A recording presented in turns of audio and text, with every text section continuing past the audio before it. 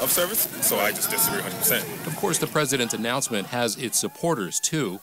Retired Air Force veteran Peter Kane, who lives in San Diego, says Trump did the right thing. Battlefield, you're there to kill,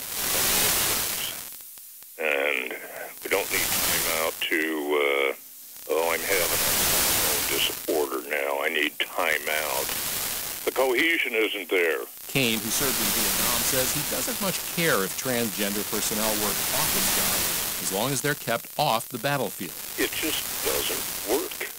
Too much, not so much resentment as there is skepticism and the perception that you may not be able to count on that conflicted person to be there when you need them. Studies by the RAND Corporation found that integrating transgender troops into the military would have minimal financial costs.